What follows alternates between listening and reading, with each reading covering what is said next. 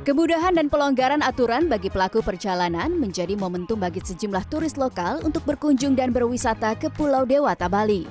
Di kawasan objek wisata Pantai Labuan Said Uluwatu, Badung, Bali misalnya.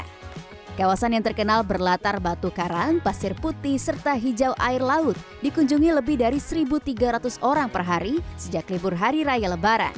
Angka ini melonjak dari biasanya sekitar 500 hingga 700 orang. Such good weather and it's so sunny and just yeah beautiful. Everywhere it's so so pretty. In the mountains you have the beach it's yeah i love it.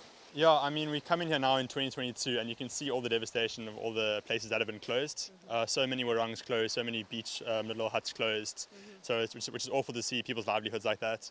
But now in the past few months bali's been opening up. There's been tourists everywhere. It's getting it's getting back to normal. Hopefully uh, hopefully it'll be back to normal soon Masih di kawasan Bali Selatan, objek wisata Pantai Melasti juga tak luput dari kunjungan wisatawan.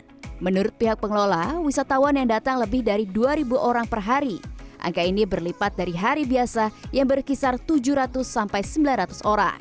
Data Posko Mudik Lebaran Bandara I Gusti Ngurah Rai Bali mencatat, sejak 28 April kunjungan di terminal domestik meningkat tajam.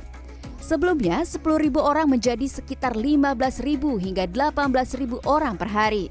Kunjungan di terminal internasional juga naik dari sekitar 1.000 menjadi sekitar 2.000 hingga 4.000 orang per hari. Tim Liputan CNN Indonesia, Badung, Bali.